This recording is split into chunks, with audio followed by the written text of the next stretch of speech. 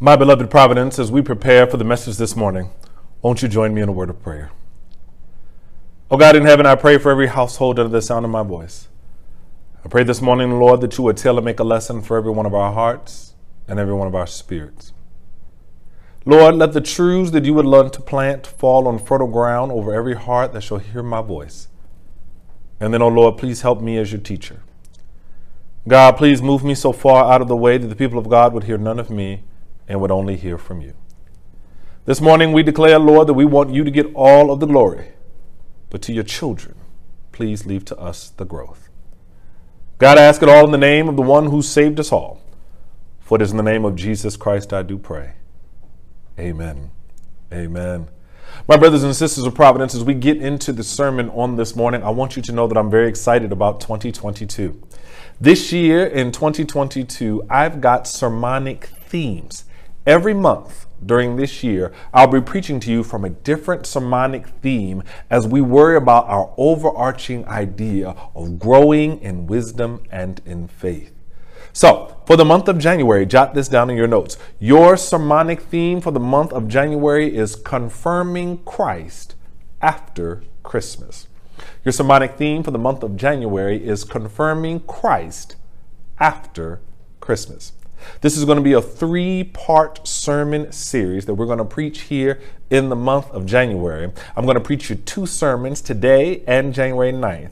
Then on January 16th, we're going to pause on the theme as we honor the Reverend Dr. Martin Luther King Jr. in celebration and honor of his birthday, which we'll talk about a little later in the service. And then I'm going to come back the following Sunday, January the 23rd, and conclude the three part series. So you're going to want to stay in touch with the messages all year long as we engage in the themes that we are going to do in all of this series that we are going to be preaching. So here it is. If you would turn in your Bibles to the Gospel of John, the Gospel of John, the seventh verse, excuse me, the 16th chapter and the seventh verse. The Gospel of John in the 16th chapter, in the seventh verse.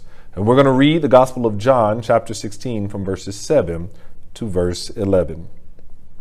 Out of the New Revised Standard Translation, if you have it in your Bible, here's what it says Nevertheless, I tell you the truth. It is to your advantage that I go away. For if I do not go away, the advocate will not come to you. But if I go, I will send him to you. And when he comes, he will prove the world wrong about sin, righteousness, and judgment. About sin, because they do not believe in me.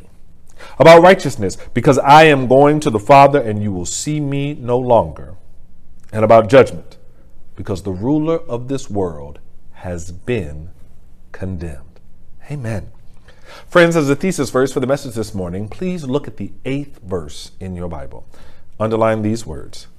And when he comes, he will prove the world wrong about sin, righteousness, and judgment. About sin, righteousness, and judgment. Brothers and sisters of Providence, and all of our guests, on this first Sunday of the year 2022, as we begin our sermonic series confirming Christ after Christmas, let us open this series with sermon number one which is confirming I've been born again. Confirming I've been born again. Providence, it's a new year. And even though we are virtual, I want you to know how glad I am to be in worship with you. Because even though it's a new year, if you and I would be honest this morning, many of us still have old habits. There are some old habits that have followed us into every new year since time immemorial in our lives. And one old, one old habit that we all have to admit that we have is to promise ourselves about what new thing we are going to do in the new year. Some people call these New Year's resolutions. Others call them New Year's promises. Some call them New Year's expectations. And it does not matter what you call it. All that matters is that you and I recognize it's an old habit that we bring into every year, claiming we're going to have a New Year's resolution. Every year about this time, we recognize that it's time to put something new in our lives. And we make a resolve in our lives about what new thing we are going to do. I'm going to lose weight. I'm going to exercise more. I'm going to read my Bible more. I'm going to have more patience. Yada, yada, yada, yada, yada. We have all these New Year's resolutions. And so, to honor that tradition this morning, what new thing that we are going to commit to spiritually what new thing that we're going to recognize needs to be a part of our faith is that you and I are going to have a new resolution that we are going to engage in the spiritual practice of confirming Christ after Christmas. This, brothers and sisters, is not just our theme for January. This is our new thing that we're going to do in this new year. It is our New Year's resolution. We are, at the beginning of 2022, in our own spiritual lives, going to confirm Christ after Christmas. Well, Reverend Williams, what does that mean? Well, many of us have to admit that we are very good at confirming Christ during the Christmas season. We remember to engage in our Advent. We, we are reminded about Christ throughout the Christmas season. We sacrificially give to others for Christmas. We reflect on the previous year that we had with God. And then, if you think about the month of December, in December alone, we have our Advent liturgies, we have our Angel Tree program, we had our season of service, we had our Christmas Eve service, and we had our Watch Night service. Brothers and sisters, it is really hard to be a member of Providence and engage in all the worship experiences that we have had during the month of December and not think about Christ. It's really hard during the Christmas season not to confirm your faith and affirm what you believe about Jesus and your fidelity toward God. But then all of a sudden, January comes. January comes and we get busy ramping up for the new year. We get busy doing a new thing. And things move so fast with the new year and all that the new year brings that sometimes we have to admit every January, Jesus gets pushed to the back burner. Said a different way, it's so easy to focus on making the new year new that we leave stuff out in the old year and don't carry it forward into the new year. It's so easy to do that that we forget to press as hard in our faith in January as we did in December. To compound matters, our worship calendar makes it so easy to remember Christ in December and our worship calendar makes it just as difficult to remember Christ in January. So, let's this morning confirm that Christ is in our lives after Christmas with the same passion that we thought about and confirmed Christ before Christmas. This is important because if you're watching me right now, if you're engaging in worship right now, then you have some level of faith, and faith is important to you. You're willing to engage the unnatural to get access to the supernatural, which is why you are in worship right now. You believe or you want to believe that a God, a good God, knows the plans that God has for you in this upcoming year. And you want to connect with that God, which is why you are in worship right now. You want something greater out of your living. You want something that has depth of meaning and a purpose in your life. And God, through Jesus Christ, you and I believe by faith, can provide it for you if we can confirm Christ after Christmas. If we can confirm what it is we believe about God. And the very first thing that you and I ought to do if we're going to confirm Christ after Christmas, jot this down in your notes, is you and I have to confirm that we have been born again. Brothers and sisters, this is truly step one in our faith walk at the beginning of the year. You see, at the moment of salvation, at the moment that you have confessed with your lips that Jesus is Lord and believed in your heart that God raised him from the dead, you are saved. At that very moment, in an instant, in the twinkling of an eye, so to speak, you have salvation. And step one that salvation occurs in your life is that immediately you are born again. That moment, whenever it occurs, that moment is the new year in your life. Because that moment when you accepted Jesus Christ, when you got saved, that moment was the beginning of a new year for you because it was the beginning of a new you. The moment before salvation, you were living your life separated from God. And the moment after salvation, you were sealed by faith to live with God for eternity. It was, if you will, if you remember your salvation, your salvific moment, it was a transformative moment in your life. But just because you and I go to church, how do we know that this moment occurred? So much of our faith occurs on the inside of us that, that it does not occur with a major sign or a major acknowledgement or recognition that it actually happened.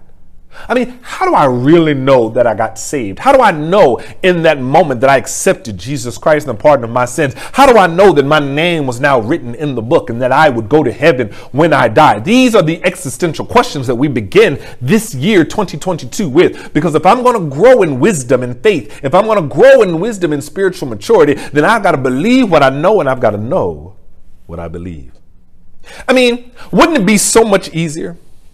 If at every moment of faith in your life, to confirm that you were doing the right thing, the thunder would roll and the lightning would flash. I mean, think about it. Every decision that you had to make, if you were going the wrong way, there'd be silence. But if you were going the right way, the thunder would clap, the lightning would flash, and you would know I've made a right decision. I am in the will of God. Wouldn't it be so much easier if there was a sign every time I made a decision for God? A sign that marked the fact that I knew that I was saved. A sign that marked the fact I knew I was going to heaven. A sign that marked the fact that I knew I had accepted Jesus Christ. Think with me about what life would be like if you got that sign. Here's the reason why you don't get that sign. You don't get that sign because what would happen if God actually gave you a sign to confirm what God's will was and you didn't do it? Or what would happen if God didn't give you a sign, which means you knew you weren't supposed to do something and you did it anyhow? You see, the reason why we can't have these signs because God would get kind of frustrated with you and with me if you knew and I knew that we knew that we knew that we knew, not that we believe, but we knew, and we still went the opposite direction. But I digress. How do we confirm on this first day of 2022 that we have been born again? How do we confirm the salvation that we believe in and the gospel that we profess to others? How do we know that we are walking with God? Jesus answers, I believe, this question in the 16th chapter of John. If you were to read the Gospel of John, by the time you got to the 16th chapter, you would recognize and realize that time is running out on Jesus' ministry. He knows that he will soon be leaving this limited womb called time and returning back to heaven to be seated at the right hand of the Creator with all power in heaven and earth in his hands. He knows that he will be arrested and beaten and crucified. He knows what seeing this will do to the disciples' faith and how they will be feared. He knows that he's got to offer them some assurance that everything that he taught them is true in spite of what it's going to look like with him being crucified. He needs to offer them some insurance to cover them when their flesh gets weak and they make the inevitable wrong decisions that we all make. Say amen, somebody. So, here in our text, in speaking with his disciples before he is arrested, I'm in verse 7. He says, I tell you the truth. Stop right there. Before you keep reading, look at the preface of his words in this seventh verse of this 16th chapter. The preface says, Nevertheless, I tell you the truth. In spite of what you're about to see, in spite of what you're about to hear from the Jewish ecclesiastical leadership, even in spite of what your eyes are going to tell you, believe for yourself that I am telling you the truth. In spite of your feelings, I am telling you the truth. In spite of the coming difficulties and the past tragedies, I am telling you the truth. The preface means that the words that are about to come out of my mouth, like every other word that Jesus ever spoke, are true. That what I'm about to share with you is real. It is the truth. This is what you can build your life upon. This is what is steadfast and immovable in this life. And all the things that you can't trust in this world, and all the things that you can't depend on. This is the solid rock upon which we stand. Nevertheless, I tell you the truth. What I'm about to tell you, these are the things that are never going to change in your life because the truth is the truth. We once thought that the world was flat, ladies and gentlemen, and at that time, that wasn't truth, it was our conjecture. And then at some point in time, after we thought the world was flat, don't you know scientists gained the equipment to be able to demonstrate that the world was a sphere instead of a cube? to confirm that you and I have been born on an earth that is round and not one that is flat. And in that moment, conjecture that the world was flat turned into truth that the world was round. I tell you that because to confirm that you've been born again, to confirm that salvation is real, Jesus is saying to you in this text, I'm not sure how much conjecture you have had to deal with in your life as it relates to your salvation. I'm not sure how much conjecture you have had to deal with about what it means to get saved, or how do you know that you're saved, or what you have to do to be in lifelong and life loving relationship with Jesus Christ. I don't know what conjecture you've had to deal with, but nevertheless, what I'm about to tell you is the truth. I'm not sure who's told you how to get to heaven or if you're going to hell, but what I'm about to tell you is the truth. I'm not sure whose conjecture on what you should or should not do to be born again, but Jesus says, Nevertheless, I tell you the truth. I'm not sure what church hurt you have experienced as we ministers conjecture about the Word of God as opposed to simply teaching what it says, but nevertheless, Jesus said, I am telling you the truth. Nevertheless, nevertheless, I tell you the truth. And here it is. The truth is, keep reading in the text, it is to your advantage that I go away. For if I do not go away, the advocate will not come to you. But if I go, I will send him to you. What? Can you imagine the disciples at the time? Can you imagine the incredulous look on their faces? Jesus, you are saying to us, it is to our advantage that the Jews murder you after a sham trial and a farce of an arrest. It is to our advantage that our leader leaves us and we are without the wisdom that you've given us for three years of ministry.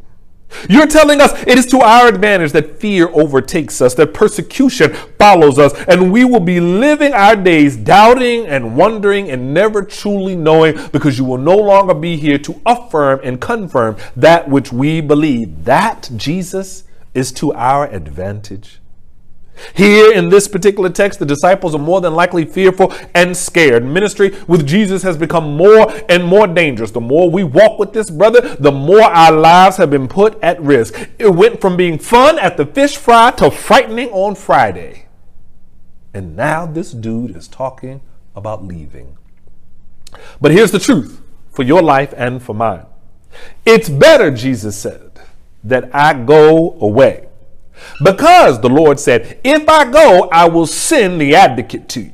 And you and I are reading the text and we're saying, just like the disciples, Jesus, you got to come on by here sooner than right now and quicker than yesterday and explain to me how is it better for my life that you go away rather than you be here with me now?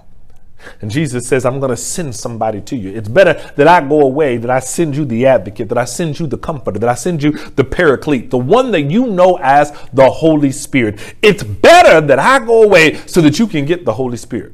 Well, come on, Jesus. How, how is that the case? Watch this. I, Jesus, in my incarnate self, if I stayed with you for the, your lifetime as a human, eventually understand that I too am a human. So eventually my body would age and I would die as well. Or, rather than dying in my old age, having been with you disciples for 60, 70, 80 years, the other alternative is I could die for your sins. I could send you the Holy Spirit who is not incarnate. I could send you one who would never die. And then you could choose between having me for some years, 80 years of your life, and then I'm gone, or you can have the Holy Spirit, who is me, by the way, forever. You can have the Holy Spirit for a lifetime, and generations and generations to come after you can have that Holy Spirit all the days of their life. Jesus is saying in the 16th chapter of John, you can have me in the temporary, or you can have the eternal. You can have the Holy Spirit in the eternal. You can have me in a fleeting moment, or you can have the Holy Ghost for all the moments of your life. It is better for you that I go away. Verse 8. And when that Holy Spirit comes, he will prove the world wrong about sin, about righteousness, and about judgment. There it is, brothers and sisters. Write it down. It's right there in the text. When the Holy Spirit comes, when you are born again and you receive the gift of the Holy Spirit, when you have made the decision to choose Jesus Christ in the pardon of your sins, when you have decided, I no longer want to live my life separated from God, when you have made the most important decision of your life, when the Holy Ghost comes, He will prove the world wrong about sin, about righteousness and about just judgment. In the decision moment, Jesus is saying, when you accept Jesus Christ into your life, when you believe in the Lord, when you confess the Lord as the Lord your God, when you let Jesus into your life, in that moment, when you choose to be connected with God and live with God, in that moment, that will be the greatest moment of your life because in that moment, the Holy Ghost will or has come upon you.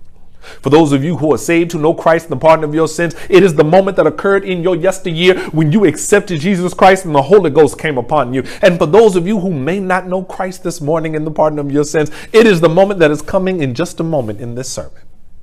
It is the moment when I offer Jesus to you and you say yes, and the Holy Spirit shall come upon you and to confirm that you've been born again, to confirm that you are walking into 2022 with God stronger than ever, to confirm that the Holy Ghost is on the inside of you, to confirm that you have that still small voice on the inside of you, to confirm that the third part of the Godhead is all over you, to confirm that you've been born again. The Bible says you will be convicted the Holy Spirit will prove the world wrong about sin, about righteousness, and about judgment.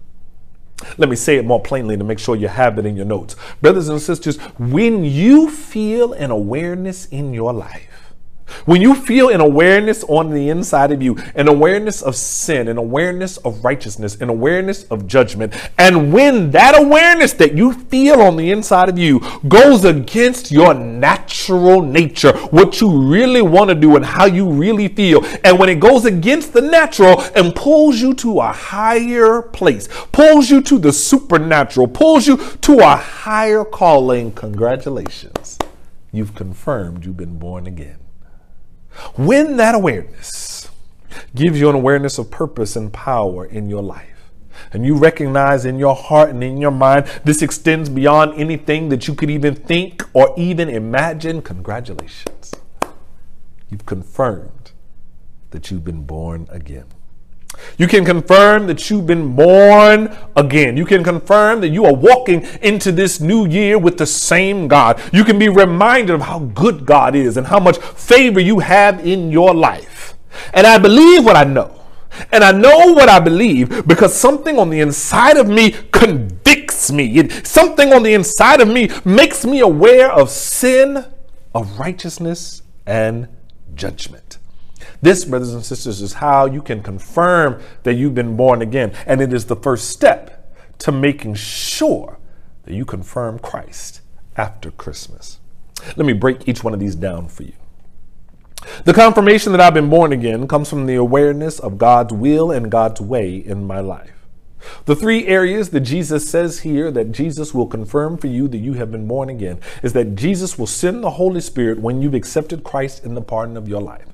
And the Holy Spirit that you have received will convict you of sin, righteousness, and judgment. Will make you aware of sin, which, make, means it will. Uh, the Holy Spirit will make you aware of the areas of our lives where we are separated from God.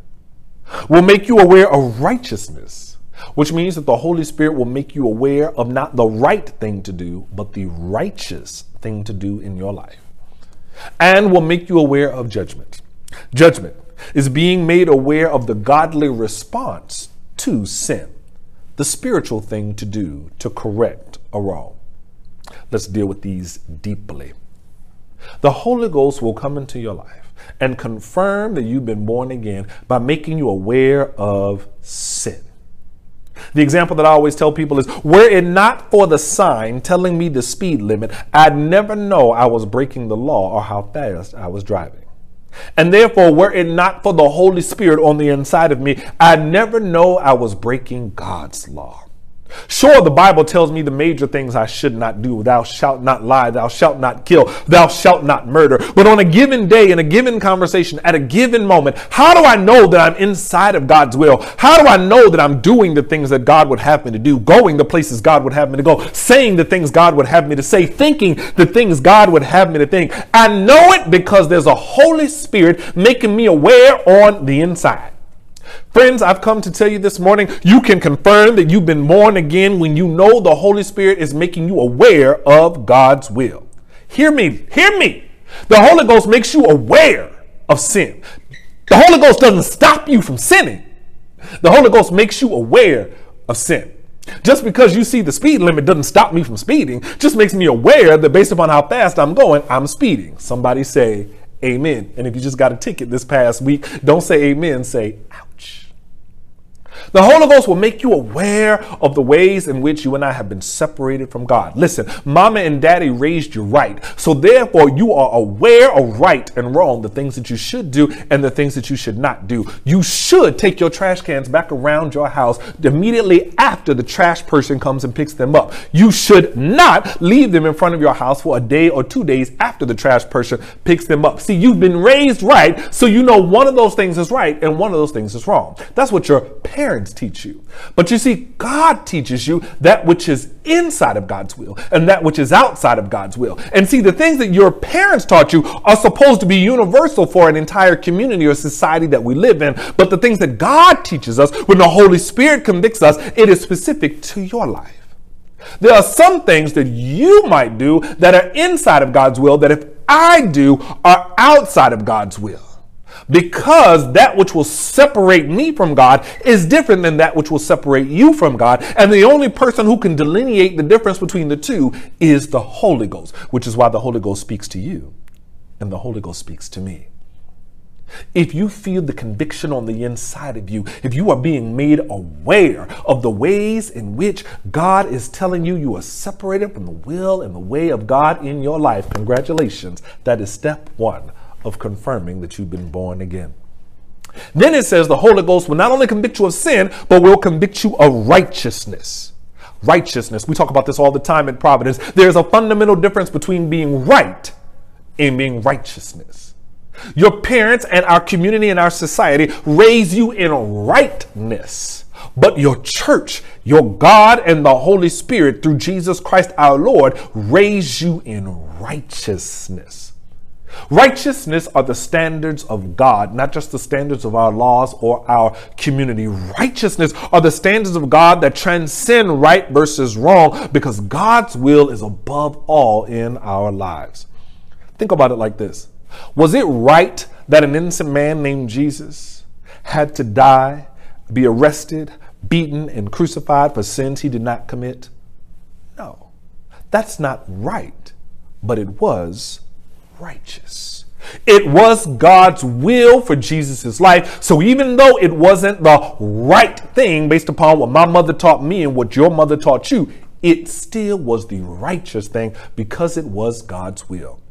Friends, in your life, if you feel the conviction of the Holy Spirit convicting you of the righteous thing to do in a situation, a situation that may not necessarily feel right to you, it may go against what mom and daddy taught you, but God is calling you to stretch beyond to stretch higher, to stretch further than ways in which you thought you could ever go. Congratulations, you are being convicted of righteousness. Righteousness ensures two things. Jot this down in your notes. Thing number one is that God will always get the glory. Thing number two is that sacrifice will help somebody else to engage the righteous thing in this life. You know that you are walking in righteousness. You know the Holy Ghost is convicting you of righteousness. If A, God gets the glory out of the situation, and B, your sacrifice will be a blessing to somebody else. God's glory and the blessings of others always translates to righteousness. If you don't think I'm right about it, let's read Proverbs together and you'll see that the Lord reminds us of what it means to be righteous. The Holy Ghost will come into your life to confirm that you've been born again, will convict you of sin, and will convict you of righteousness. And then the final thing it says in the text is that the Holy Spirit will convict you of judgment. Here's the truth, brothers and sisters there will be judgment in our lives. We will engage judgment because we will sin. We are imperfect creatures at best. Every single one of us, from the pastor to the pew, we all make mistakes. And yes, we are forgiven. But in righteousness, there are consequences to our actions and there are recompense for the mistakes. Remember my speeding example? The government of our country wants my money as recompense for my speeding. You speed, you get a ticket. And most often, that ticket simply involves you having to pay some money to the municipality that you were in. Your paying of the money is the judgment, it is the, the recompense for the mistake that you made of breaking the law. Well, when we break God's law, there are times when the Holy Spirit makes us aware of that which we must do to make recompense for the mistake that we have made. If in your life, when you know you've made a mistake, when you know you've gone outside the will of God, if you find that there are times when the Holy Spirit is making you aware and convicting you on the inside of here's what I am calling you to do to make recompense for the mistake that you have made, congratulations. You are receiving conviction of the Holy Spirit. You have been born again. Have you ever fell out with somebody in your life and God told you what to do and how to reconcile? You heard the Lord convicting you in your spirit. You say, Oh God, I don't want to, but I know what I'm supposed to do. Congratulations. That's conviction. Have you ever seen something that you wanted to keep for yourself, but God told you to give it up? give it to somebody else, bless somebody else, congratulations. That is conviction. Brothers and sisters, in this 16th chapter of John, as Jesus is preparing for his final days on the planet, he teaches his disciples you can confirm that you're walking with me. You can confirm that you are part of this movement. You can confirm that you are part of this ministry because the Holy Spirit will prove the world wrong the Holy Spirit will convict you, will make you aware, will prove the world wrong, will make you aware of the ways in which the world is wrong and God is right. And all the days of your life, as you and I receive the conviction of the Holy Spirit, as we receive the awareness of sin, the awareness of righteousness, and awareness of judgment, even though we sometimes struggle to do it, the mere fact that you've received the conviction, you ought to thank God. The mere fact you will receive the conviction is what you and I praise God about because it means that you have truly been born again. Receive the conviction of the Lord. Allow the Holy Spirit to make you aware of sin, righteousness, and judgment. And you will be able to confirm today that you have been born again. Being born again. This is the moment that we all look forward to in our lives. It is the transcendent moment when we've accepted Jesus Christ in our lives and we know we shall spend eternity with the Lord. Being born again is the new creature that can come from the inside of me because the Holy Spirit will now dwell within me. It is that opportunity to be born again that I would like to offer you now. When you think about confirming that you've been born again, you have to think about that text that comes out of the book of Romans. It says, If you confess with your lips that Jesus is Lord, if you believe in your heart that God raised him from the dead, you shall be saved. Oh, my brother or my sister, this morning, I'm talking to the person who does not know Christ and the pardon of their sins, but you would like to. I'm talking to the person who's come online to worship because you know you need a church home, a family, even from a distance, who can wrap their arms around you and help you grow in the grace and knowledge of Jesus Christ. I'm talking to the person who needs a season of time for a different church to watch over your soul. If you're ready, then we're ready for you to come home. I'm going to ask you two questions.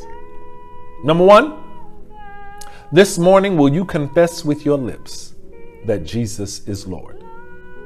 If you will, simply close your eyes to the Holy Ghost and say, Yes, I do. My brother or sister, this morning, will you believe in your heart that God raised him from the dead? Simply close your eyes and say to the Holy Spirit, Yes, I do. Then, my friend, if you said yes to both those questions, you are saved and you are going to heaven. On your way to heaven, there's a church family that is here waiting for you to receive you and to love you. At the bottom of your screen right now, you will see the phone number of our church family where we are waiting to tell you how to accept this Christ